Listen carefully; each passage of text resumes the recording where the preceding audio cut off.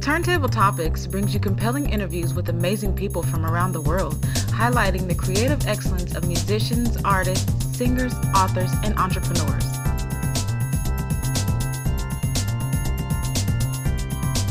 Hello, viewers. This is your host, Taurus Spraggs, and this is Turntable Topics. Today, I have the pleasure of speaking with Whitney Parnell. Whitney is the CEO and co founder of Service Never Sleeps.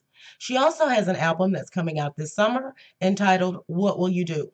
The debut single that we'll be discussing today is entitled The Talk. Alongside Whitney today, I will be speaking with Joshua Davies. Joshua, in addition to being a music producer, music director in the DMV area at the Zion Church, he is also the producer on Whitney's album and single, The Talk. So let's dive into it and get to know Whitney and Josh a little bit more. As promised, I have here with me tonight Whitney Parnell and Joshua Davies. And what better way than to expose you guys to who these two amazing people are, other than to let them each individually give you a little bit about their background before we dive into um, all of the great things that we're going to bring to you tonight to highlight these two amazing individuals. As I said in the opening, Whitney is the CEO and co founder of Service Never Sleeps. She also has an amazing album that will be coming out this summer. We'll be discussing the single that's being released, The Talk. And sitting next to her with that beautiful smile is Joshua Davies. Um, he's actually the music producer on the collaboration. So, Whitney, if you want to start out and let people know a little bit about your background. So, thank you so much for having us today, Tora. We're so excited for this opportunity. Uh, as you mentioned, I am the CEO and co founder of Service Never Sleeps. We founded in 2015. The idea being that just as social injustice never sleeps, service combating it should never sleep either. So, our whole focus is on promoting allyship an active way of life that works to ensure equality, opportunity, and inclusion for everyone. We do that through several programs. But a little bit of background about myself is that I am a foreign service brat. In other words, meaning I don't know where I'm from at all. Uh. Moved all around the world uh, and was a wonderful lifestyle that at most really emphasized for me the sense of shared humanity and that we should care about our fellow world citizens, which maybe become a professional humanitarian by term and then had me start this nonprofit uh, but also played a big role in a lot of the music that i write which is social justice focused. So at the end of the day i'm i'm just trying to make this world a better place through promoting social justice and getting everyone else to be involved in that and I love that. And that was one of the reasons, you know, we've connected a few times on the phone and we've had some, you know, very detailed conversations. And by the end of this interview, the viewers will get to know why I always say you're such an astounding person. Josh, you want to give us a little bit about your background? Absolutely. First of all, like Whitney said, I'm so happy to be here. This is going to be fun. This is uh, exciting. Um, so this is, this is great. Um, so I'm Josh Davies. Very simple. I'm a you know started out I'm a musician. Um, started out uh, young playing music. I'm getting started now. I produce. Um, I uh, am a music director for different groups, different artists, and um, I just had the privilege of working with Whitney on this on this project. Uh, she came to me a while ago and, and told me that she wanted to about the project and what she was doing the project for, and um, I'm just excited to be to be a part. I get the, the opportunity to use my gifts um, for for this cause. I also own a company called Netra Entertainment, and uh, we pretty much have a few different entities. But one of the things that we really focus on is we offer music lessons, music classes to different private schools and just people in general. So we offer classes. I have a team of amazing um, musicians that work with me on, on this in this company. So yeah, this will not be the last time you will see these two wonderful people on um, Turntable Topics. We will be doing another separate interview with Josh, and we'll also be doing a special highlight just on Whitney's organization, Service Never Sleeps, because that in itself is it's a whole different entity, but it's something that needs to be brought to the forefront and that you need to be aware of. It's an amazing organization. So after these, don't feel like this will be the end of it because we will be bringing more from each of these wonderful people. So Whitney, um, when we, you know, we first spoke and I was first introduced to you, you were described to me as a millennial artist slash social injustice activist. Break down what is a millennial artist? Yeah. uh, so millennials get a bad rap sometimes, but also a really great one. But I, I, think it's a really important thing to mention because when you look at social change and social movements that have taken place throughout history, it's always young people who really start that off. And I think that there's something to be said about that. And you've got the millennial generation, which has is so socially aware and so passionate about issues that I think it's really special to our generation. And I really want to pay homage to that and really identifying myself as part of this new movement that's really trying to make a difference. So that's why it's so important to really um, touch on that millennial piece. Uh, in terms of the activism piece, it's so interesting because I think some people are turned off by the term activism. And I just, I don't know how to respond to that. But um, I do want to pave a whole new lane for what activism looks like in this sort of millennial Black woman identity, in the sense that I'm always of the belief that the way that I move forward is really breaking down what piece of me represents marginalization and my Blackness, my womanhood, through which I should feel empowered to fight for my people, but also the right to just thrive and survive. But what pieces of me represent privilege, my my religion, my being educated, my being housed, my my sexual orientation, through which I need to be an ally for that corresponding marginalization. So in my activism, I want to pave a whole lane that really takes but that whole both of those sides and is passionate about fighting for my people but also equally as passionate about fighting where i should be executing allyship and so this lane of activism for me is supposed to be a very unique one that I hope that everybody can take on the charge of doing. So activists may not look exactly like what people see it to have been in the past, but right. hey, I'm here to try to make a whole new type. but I mean, you're right because a lot of the times when somebody says, "Oh, I'm an activist," people tend to talk and run. They're like, "Oh, it's a it's a stigma that goes with it. And i really like that you're trying to pave the way for a different outlook when it comes to activism because it's something that can be very rewarding. Before I dive into the single um, and discussing the talk, um, I want to ask Josh when Whitney first came to you and said, I have this album idea, and the album is titled What Will You Do? And when she came to you and broke down what the album was about, what was your response, your initial thought on taking on this project?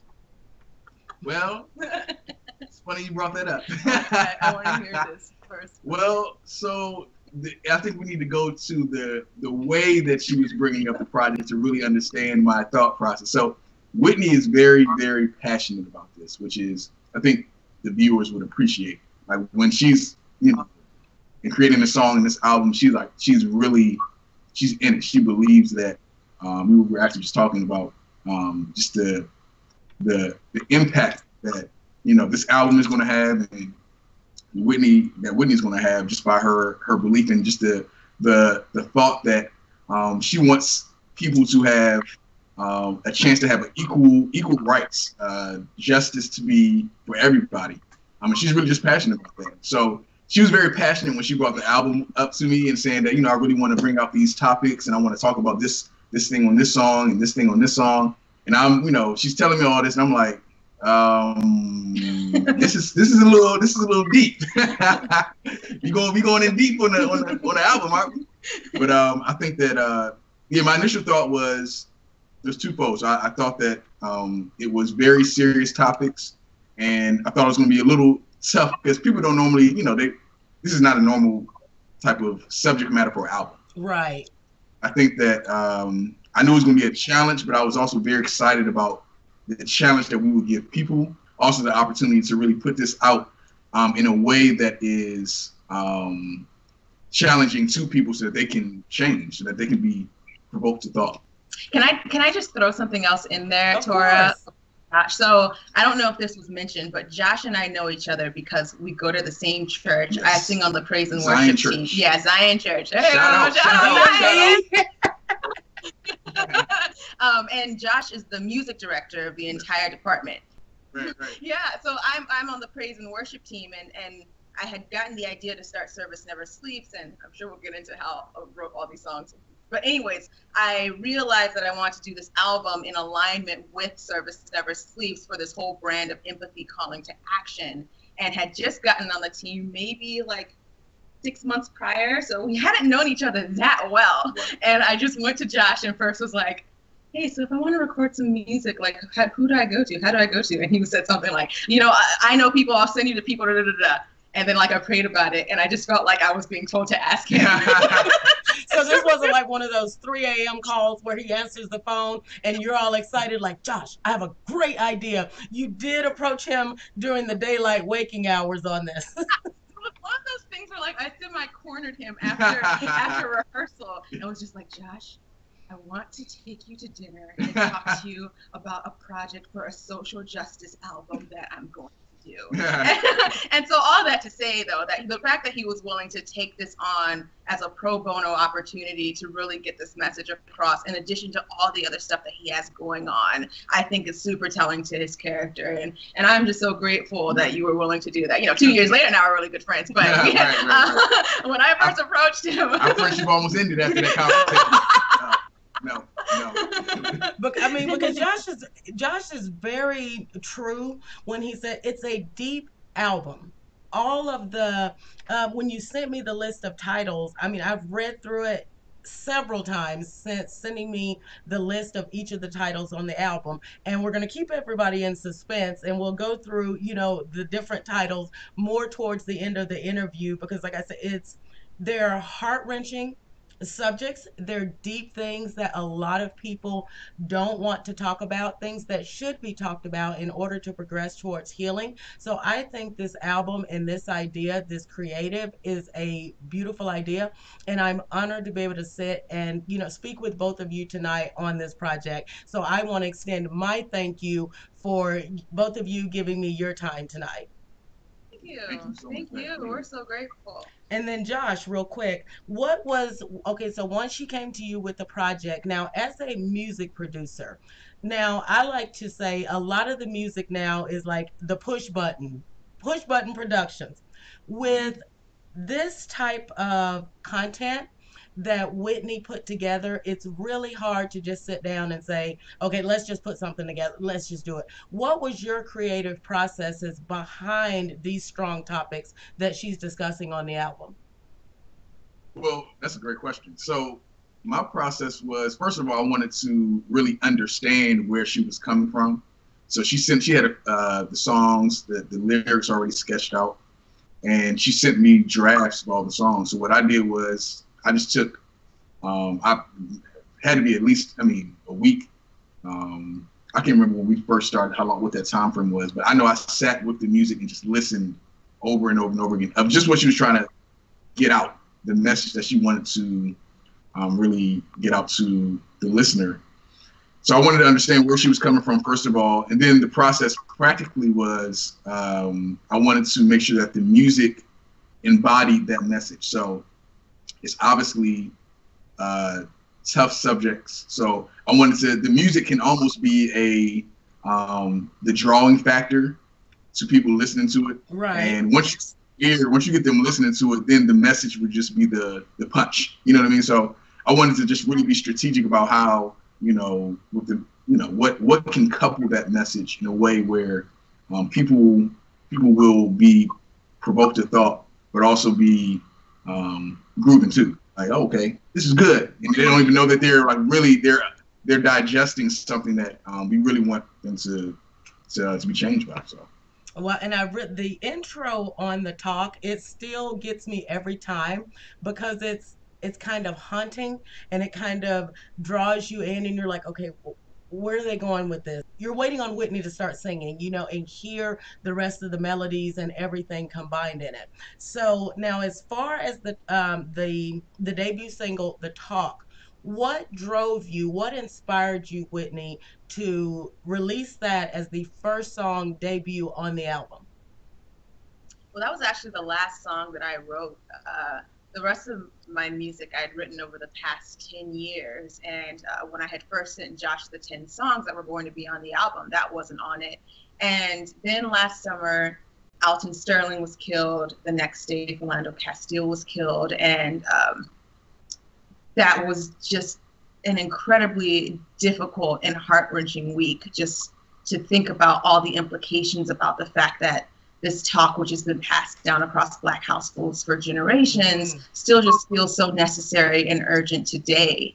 And I had written that towards the end of the week with, with, with all these songs, it was just sort of the case that I was just sort of hit with with the melody and hit with particular words, and then it would just all sort of fall out within hours. And that was something that it was like maybe four o'clock in the morning towards the latter part of the week where I was just so anxious and filled with anxiety over what was going on, but also really angry because it had been this week where, on the one hand, I was trying to process what this meant for me, what this meant for my sisters, future loved ones, and just the implications of our own people's history.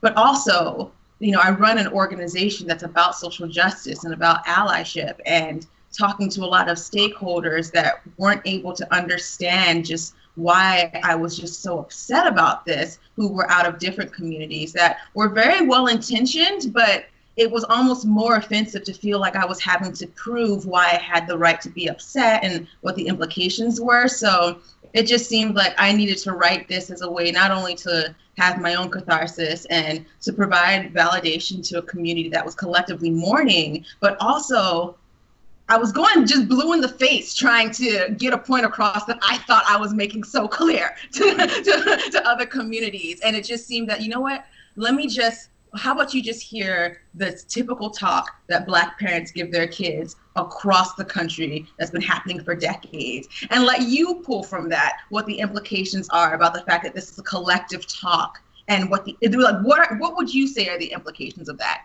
And it just sort of hit me you know to a certain extent you can have as much evidence as possible but nothing's going to touch people more than empathy in their heart. And and so that that is that was a very difficult week that continues to be difficult but hey um that that's what inspired that song that week. Well, and you know, for the viewers, if they haven't gathered, the talk is based a song that's based around racism and police brutality. And net with more than ever now. You know whitney and i were having a discussion um, last week about you know in the in this day and age i still find it perplexing and hard to believe that we're having these discussions and still having to go over the same topic. But now more than ever it seems almost rampant. And there has to be something um some sort of way to frame this so people understand that it's not just a community or a culture of people saying we want justice. A lot of people relate it to when they hands up, you know, don't shoot. And that's one of the main lines all the way throughout that song, hands up, hands up. So if you can talk a little bit on why you felt it was so important for people from other cultures to understand the framing behind this album as a whole and the framing and discussion around the talk. A lot to unpack there. uh, work backwards. It's really interesting because it, it's, it's so interesting because it feels like this talk is still necessary today. But one of my closest friends, who is also very much in the movement, I he was the first person that I sent it to after I wrote it. No offense, Josh. I, I called Josh the next day and was like, we got to take out a song and put this one in. So I, I promise you were in the top 10. um, but my friend, he was like, Whitney, I understand what you're trying to do here, but I'm frustrated that I'm frustrated that we have to give this. And not just like historically the, the implications behind that but almost he was like i don't want people to co- get confused with the messaging that the responsibility is on us to stay alive. Mm-hmm. and so that's why this is such an, a complex thing to unpack. It's like we shouldn't have to give this talk but the fact of the matter is, that is very much the life or death situation that we have. Even the day before I released this, my baby sister called me to tell me of a terrifying profiling event where she said she literally followed those lyrics to stay alive. Otherwise, it could have been a really bad situation. Wow. So it's a perfect demonstration of she should not have had to do that. This is the most innocent person that I will, and sweetest person I'll ever know. Uh, but she did it because she knew that she had a better chance of getting out alive. And so, um, it, I think there are so many implications behind the fact that this this has historically been something that we've been taught. It's just part of culture here that has to demonstrate to you larger systemic oppression at hand in terms of being Black in America.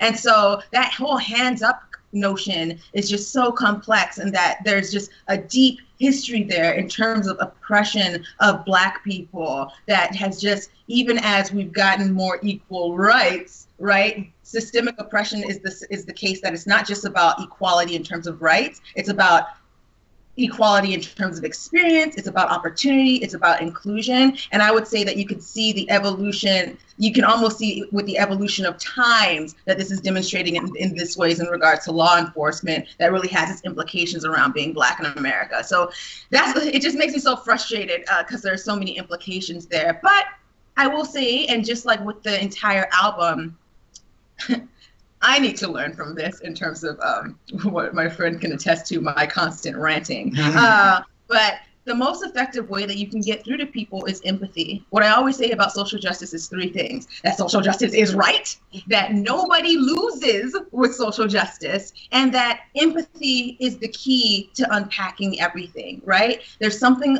about saying, man, if I were in this situation, what would I want people to do for me, and how would I feel?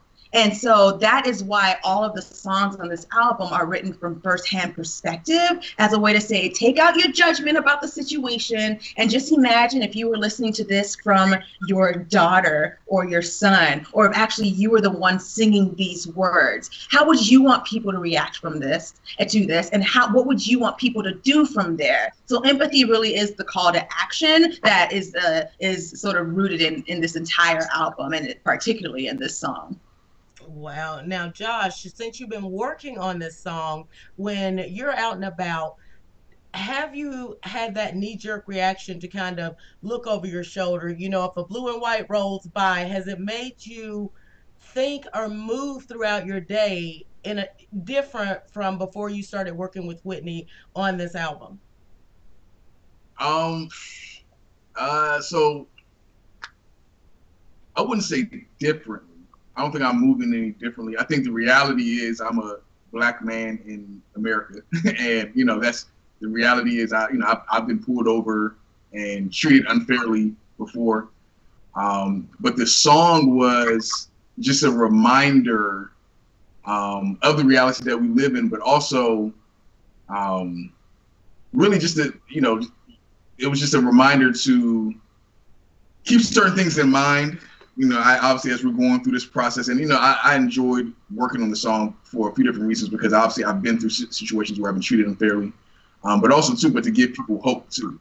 Um, I think that this is this is not the um, a song where we're bashing or we're just trying to say just to say it, but we want to, you know, just give people hope that um, we're you know people are seeing, we're recognizing that there is an issue, um, and sometimes you know that reminder is enough in itself to say, okay there are ways to get out of this. It's not just like a hopeless situation where you know, you know, this is going to be, a, you know, it's it's bad, but it's not going to just end bad. There are ways to to get out of certain situations if you are able to obviously be calm, collected, keep your cool, and fight the right way.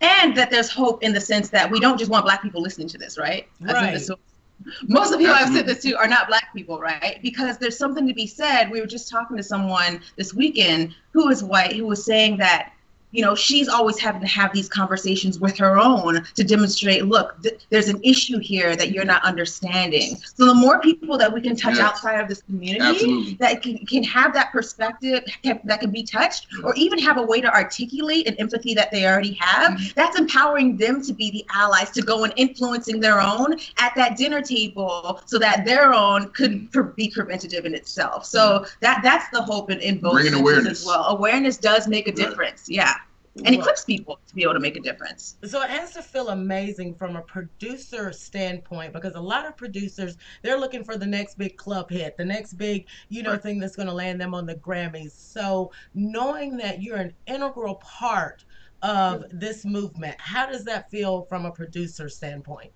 Amazing. It's it's like it's just as big as having a, a club banger or whatever. Like I, I love it because the thing about music is that music lives on forever. You know what I mean? So even in 60 years, 70 years, this song is going to be living on way past myself.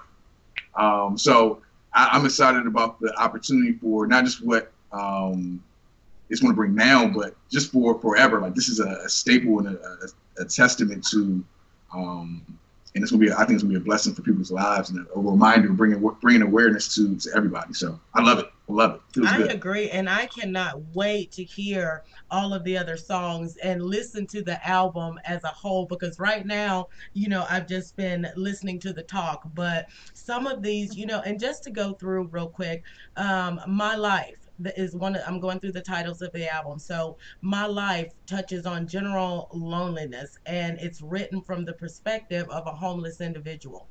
Closeted touches on LGBTQ bullying and hate crimes. Hold on focuses on mental health and suicide issues. So when we say that this is a strong, deep album, we are not kidding you. And it's you know, it, the way that Whitney has this structured also is all of the proceeds are being allocated in a special way. Can you tell a little bit about what you're doing with the proceeds from the album?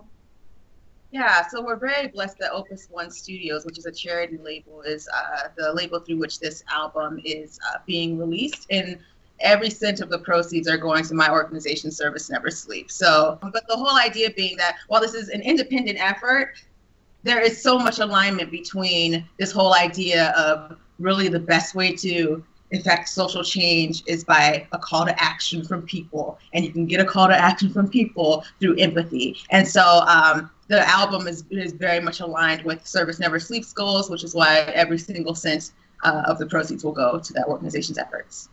Well, I love that. And I'm definitely going to be supporting the full album once it's ready to go and purchasing each of the singles or the album as a whole. And I really hope that you viewers will do the same because, like I said, this is, to me, it's something that's near and dear to my heart. So I hope that you support this and do, you know, do a little bit of research to find out a little bit more about each of these amazing individuals in between time until I can get them each back here separately. And so now I kind of want to delve into, like we said, the talk exposes an all too real dialogue that families are having to have. Can you kind of give a little framework around that talk? Exactly what are parents having to say to their kids and family members before they leave? Um, yeah, well, obviously it looks a little different uh, based on each individual, but we tried to break it down pretty simply to three main points. If, if you're starting if, if you're starting to get approached, stop is point number one. Point number two is in that engagement, just nod and smile just to get through it, being as mild as you can. And number three, stay alive. And that that's ultimately what it comes down to is those three points. You know, stop, be mild, yes, okay, and please just get home alive, which uh, seems pretty simple, but is heart wrenching in itself. And I'd say that you see, there, there's, I mean, I think we, both of us can give examples of when we first heard the talk or gave the talk or most recently heard the talk. Uh, I've definitely heard and given it a lot in my life at this point. Uh, and, you know, they all look a little different, but I think those are the biggest takeaways. And there's just implications in the fact that that this is just a, all you got to do is say it's the talk to another black person and they know what you're talking about and implications around the fact that all this is around how do you make sure that you get out of this alive and I was talking to another friend of mine who was white who was saying how, you know, when I get stopped, I'm thinking, man, this is ruining my day. and, that is not what I'm thinking when yeah. something's behind me. I'm thinking, oh my gosh, heart rate is multiplying and okay, I just I just want to get stay alive. And the implications behind someone's reaction to to the possibility of getting stopped, I think has is quite telling. Yeah, I think Whitney hit on the main points, but that talk for me, so putting myself in the moment. Uh, it's definitely um, a situation where you know I want to explain that being right in the moment doesn't matter, and like I think it's more important to get out of that situation and fight. You know, other you know in another way. You can't be mad in the moment and then trying to like you gotta you gotta be in control. Um, even if you don't get a say, if if you don't get you know even if you don't prove your point in the moment. I think that for me, that's the point that in talking to different people, I, I try to relate and I keep that in mind myself that in the moment doesn't matter because you don't want to be put in a situation where you know you're aggravating the situation. Um, you just want to fight it in a different way, and it's, it's, you're not you're you're most likely not going to win if you're trying to fight in the moment, and that's just the reality of of where we are, and we got to fight a different way. So you got to you got to keep your composure. It's not it's not easy. It's not you know um, comfortable, but I think it's definitely more important to um, keep your composure no mm-hmm. And uh, so I think what's frustrating though, and one thing that we want to make sure is clear in in this song being from the perspective of the talk, is that this uh, this tension between sort of like what Josh was saying about how look a lot of times you're pulled over and they're wrong for it, you haven't done anything wrong but get out alive, versus so many so much evidence showing us that there wasn't any altercation right? And that regardless of what your reaction looked like even if you were as mild as possible still a lot of times people are getting hurt and killed. That's exactly what we saw last year that that um, um, that inspired this song. So it's, I have interesting reactions when people don't quite pull away what I'm hoping from this. When they're like, "Oh my gosh, this is so moving," because now it's just given all this. It's really told told people about how to just respect and stay mild when this happens. Now you've saved so many lives, and I'm like, no, actually, you know, there, there's supposed to be some irony in this, in the fact that when you look at a lot of these cases, people did just that and were still killed, right? And so right. There, there's something said about the fact that it's. I can't get into one more argument with somebody about, well, don't you think that it can be on black people's end too to make sure that they're acting mild and stuff? When, when my response is, evidence is showing that even when they do that, like, the, it's it's not on our behavior a lot of the times you know mm-hmm. that's that's part of it but like that that's not the bigger problem that we have going on here. And so i think that's my only my only concern sometimes is that i don't want people to take this and and then take it to a direction that i wasn't hoping that they'd get. But hey if it's starting some conversation to where someone can then provide some new perspective great. For that naysayer that's you know sitting back and they're watching they're like i've tried that I've done all of that. You know, I've watched other people um, go through step one, two, three, and four and follow all of the rules. You know, they've subdued themselves, they've remained calm. And what do you say to that person? So that person that's watching and they're like, none of this will ever work. Just that 100% naysayer. What do you say to that person? Well, okay, I'll I'll be honest here about the intentions of this song. Uh, to a certain extent, sure, maybe this is like a rule book for people, but I did not write this song as a rule book. I wrote this as a way to validate a community that was mourning the fact that we have to give this talk and to provide perspective for, uh, for communities understanding the fact that this talk still had to happen because we were still getting killed. So I can't say that I would be talking to someone who's saying, I've tried all of that and none of it works. I don't know that I can speak to the hope that I'm giving, saying, but if you do this, then you'll stay alive. Right. I think the hope more speak towards is look I feel you, and this is not okay at all. And I know that a lot of this stuff happening is not our fault. But the hope is that in a message being out like this, more people are going to hear this and maybe be influenced by it so that it can mm-hmm. stop. And so I, I just do want to make it clear that my intentions with this song are not to tell Black people what to do to stay alive. It's to validate the fact that we mourn over the fact that we have to do this. It's really to provide perspective about the fact that we have to do this in the first place and what that means. Does that make any sense? Yes, it does. And I really like that you put it out there like that. Um, I mean, because that pretty much squashes any naysaying, I guess, in it, because it's just the fact that when you're forced to have to do something, as a human, you know, as a human being that makes you feel lesser than, that other people don't have to deal with. So we as a community just want to feel like everybody else does. Exactly. And that's and simply, I mean, that I love the way that you put that. Some people like to jump right into things. Um, we like to call them the, uh, the we have the keyboard activists that will get on and they will type all day long and put in their two cents. Then you have the people that they will get out there, you know, they attend the marches, they do things within the community. Then you have that other person that's sitting at home and they don't know what direction to take. Do you have any ideas that people can just within their own community? Because to me, that's where it starts at working within your community. This is this is everything that I'm about. uh oh, get ready, get ready.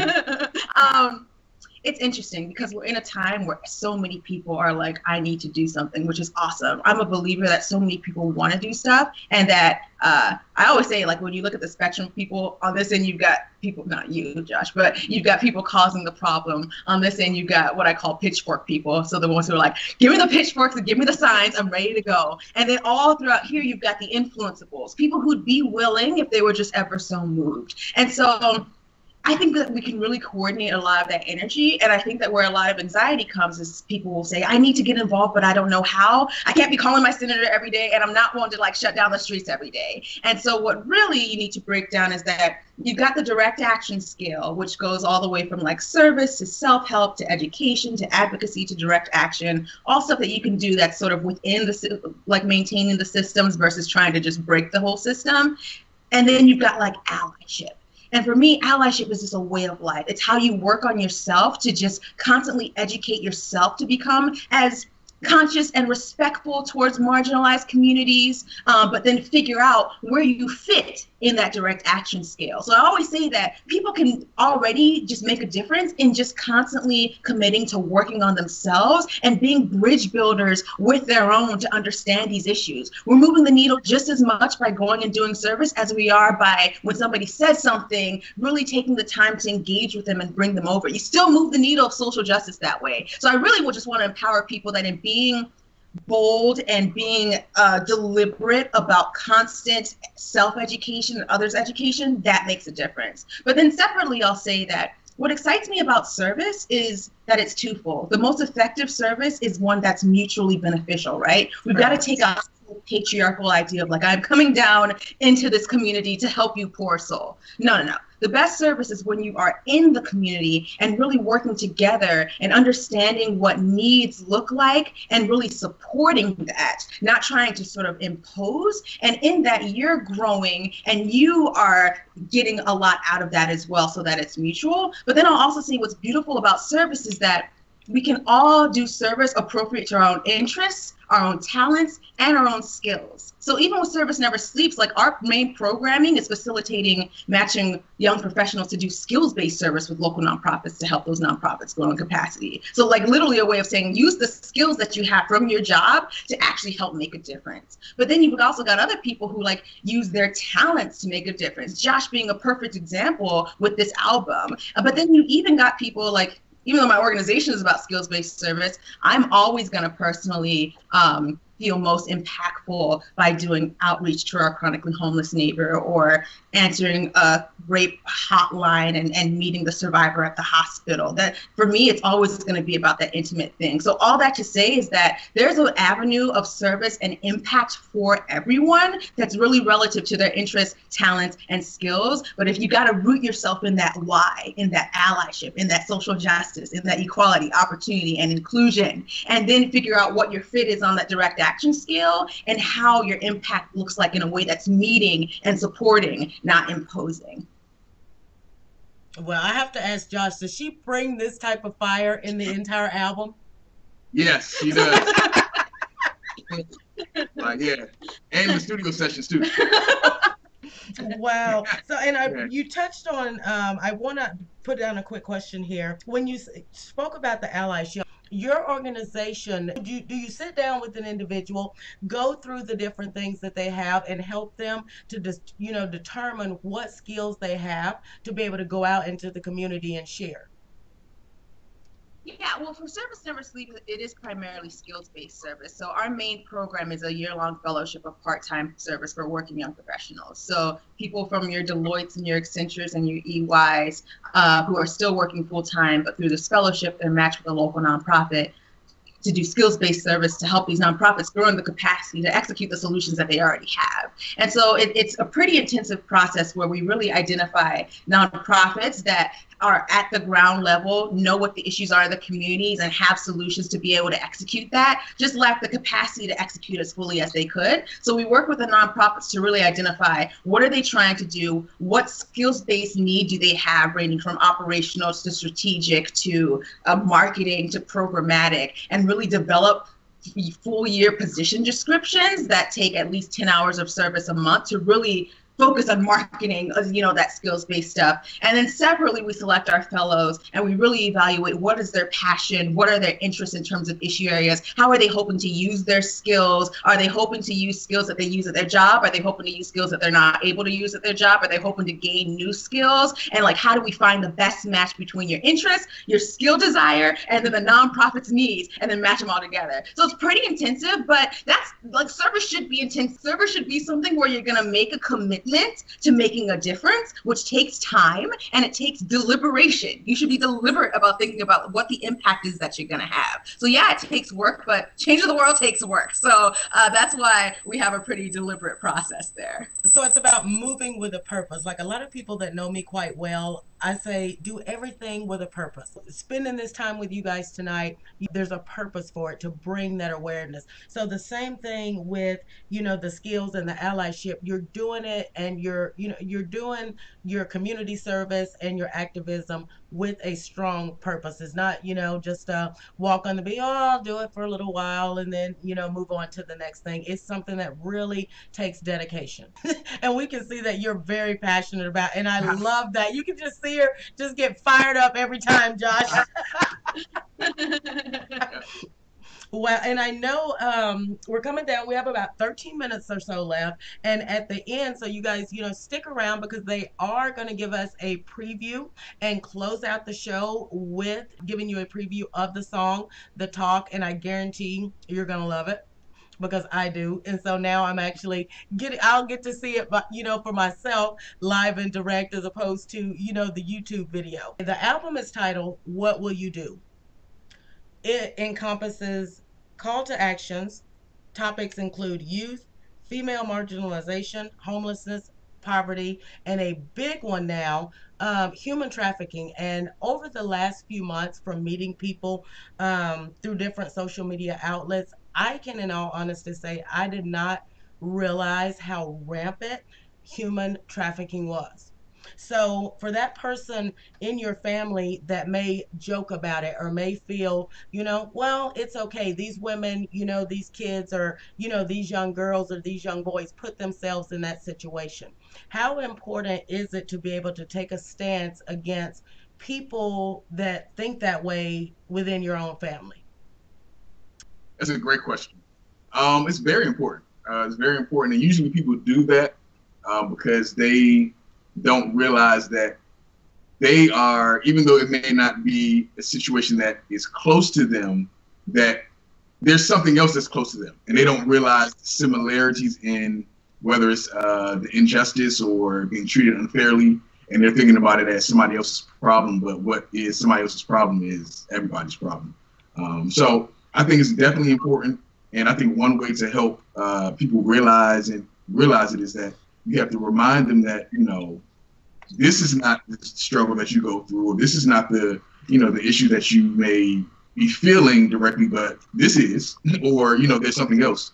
Um, so I think it's definitely important, and um, until people realize that we're all the same, different issues, different ch- challenges, but we're all the same. You know, it's, it's definitely not going to be that uh, world change that Whitney is talking about in this album that she wants to see, um, because people have to you have to sometimes you got to make people see and feel um, you know that that there's a struggle and that we're all the same mm-hmm. so and I, I, think josh hit it on the nail on the head there in that there's so much impact that can be had by just engaging. You know, we don't want we want to finish this album with people feeling like they need to do something, but once again, not to feel overwhelmed by the fact that there's nothing that they can do about these issues. It's about the fact that right at home and having those conversations and being preventative, that's doing something. And that allyship in particular right isn't about me as a black person talking to another black person about like our racism it's about a white person talking to another white person about racism. So allyship in regards to sexual assault, you know, isn't about fellow survivors talking to each other. It's about it's about I don't want to generalize, but like male culture, right? Male dominating culture and like other males talking to other males about that. Same for like homophobia. It's not about gay people talking to each other, about straight people talking to each other. And there is something I always say that um I always say that for social justice to happen, disruption needs to happen. And not like burning it down. I'm a pacifist. I mean like disruption of the mind, right? And I always say it takes like there are five things that, that can motivate a disruption. Either just like you're in the experience of marginalization, so you want to disrupt systems that are oppressing you. Uh, your just personal beliefs about what's right, witnessing something. That's why, like, all of a sudden we're seeing all this stuff about police brutality touch people because of all these camera phones, you know, right. knowing someone personally that's marginalized. So me knowing someone of the LGBTQ community and like there being a face on that pain, but and and then if none of those four works, hearing from someone you trust that makes a difference. It makes a difference for me to talk to another straight person about how homophobia is wrong. It makes a difference for a man to tell another man that victim blaming and saying that she deserved it because she or she wanted it because she was wearing it, that's a problem. It just it's just different. And so that's why these dinner table conversations, talking to your own family members who trust you and your insight, or talking to people who are just like you in these different categories, that has impact impact further than we know. And that can stop a lot of horrible stuff from happening, one mind at a time being disrupted. I really like that saying, and I want you to give it back to me one more time, real slow. In order for social change to happen and social justice to be achieved, disruption needs to happen and not in the sense of burning it down, but in the sense of like disrupting minds one at a time from this mm-hmm. implicit bias and what turns what implicit bias as a result of systemic oppression. And so I always say that there are five motivations to disrupt. Either you're the one experiencing the marginalization, so you want to see disruption happen for your for your people's sake.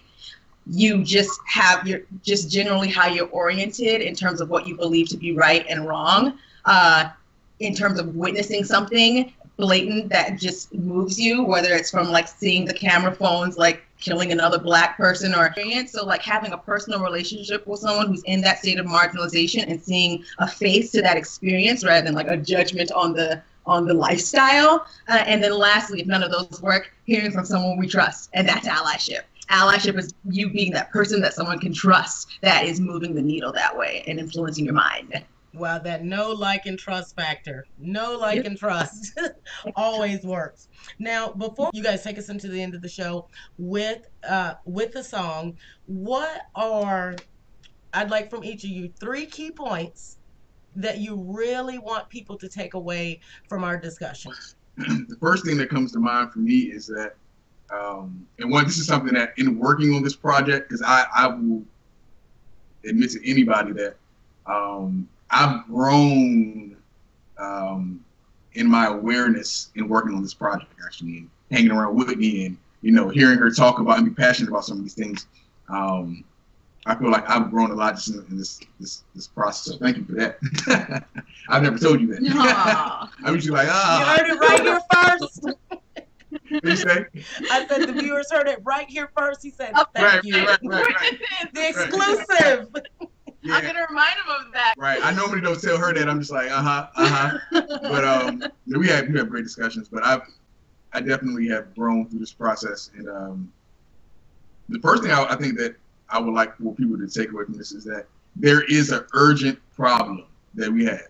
Um, and you know, I think that it's we're in a situation where it needs to people need to realize that, feel that. You know what I mean? Like it, sometimes people get in their own bubble, they get into their own schedule, their own way of life. And you not, you know, you're not paying attention. You hear about stuff in the news. You know, nowadays there's so much news going on that you kind of you're we're desensitized to it now. Right. But people need to realize, take away that there is a problem.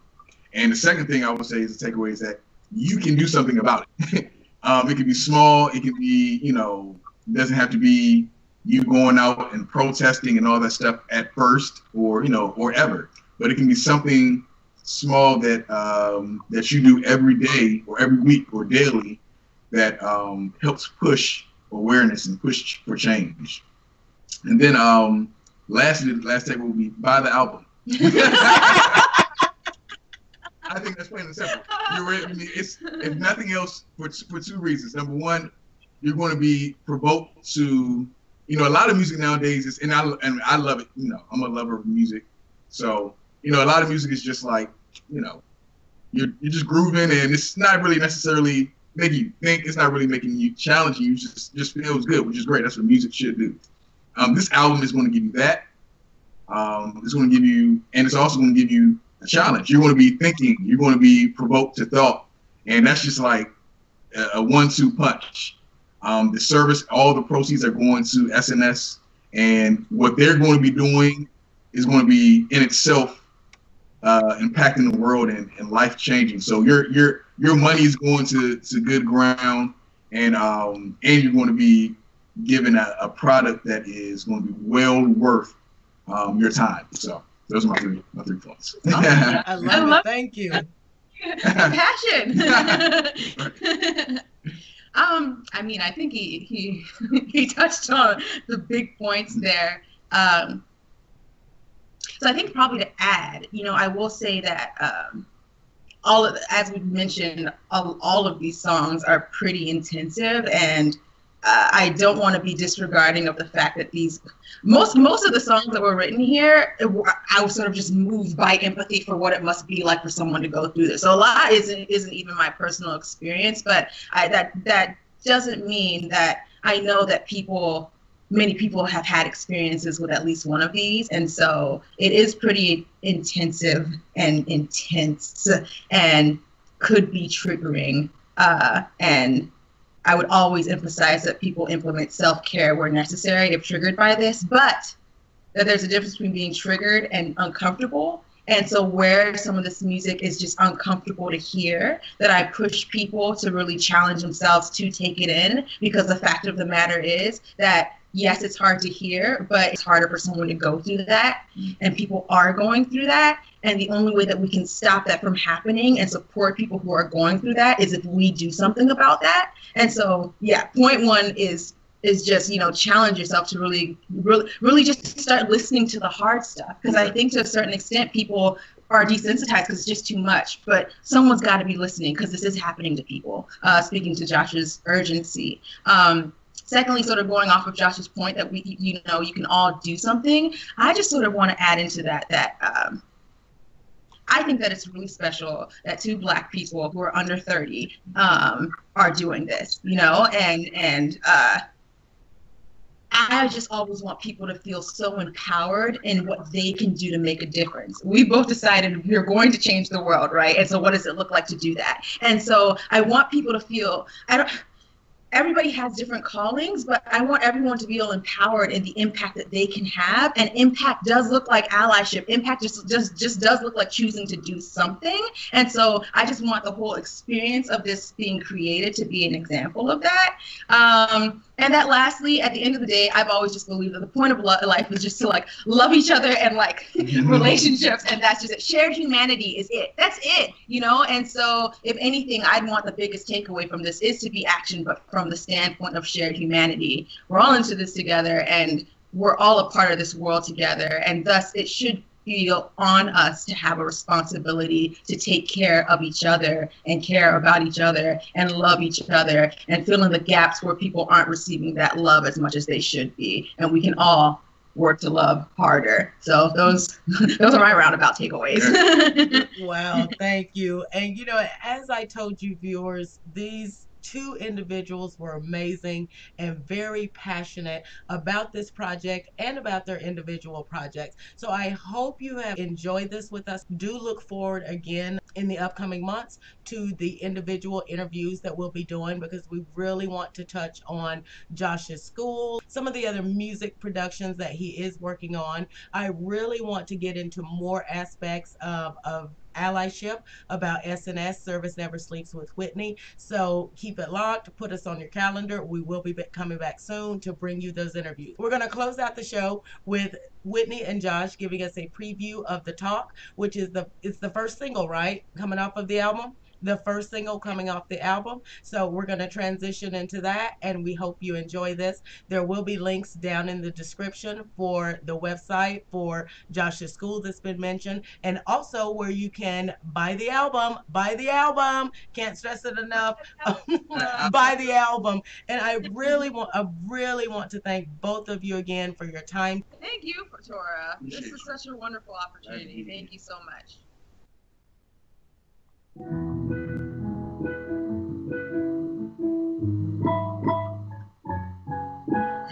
up, hands up, hands up, hands up. Stay alive, stay alive. Hands up, hands up, hands up, hands up. Stay alive, stay alive. Listen to me, son. Here's Rona.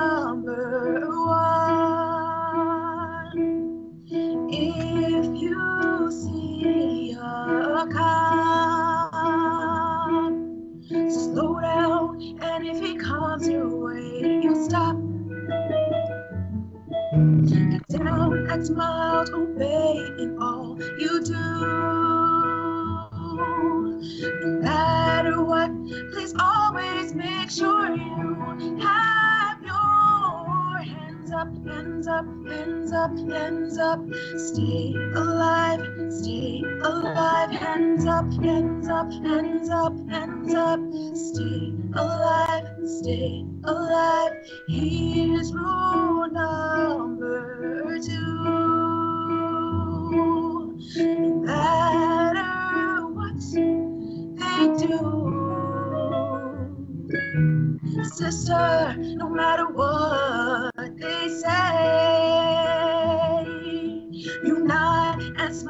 and say yes, sir. Okay. Don't matter if you think it's wrong or right. Cause right or wrong, baby, ain't worth your life. Hands up, hands up, hands up, hands up. Keep them up, keep them up, up, up, up, up. Leave them up, leave them up, leave them up, leave them up. Keep them up, keep them up, up, up, up, up. Here's rule number three. Just get home safely. One day you'll tell your kids the same old thing. And you'll spend your whole life just worrying about your son and him staying alive. About your daughter's trauma and if she'll survive.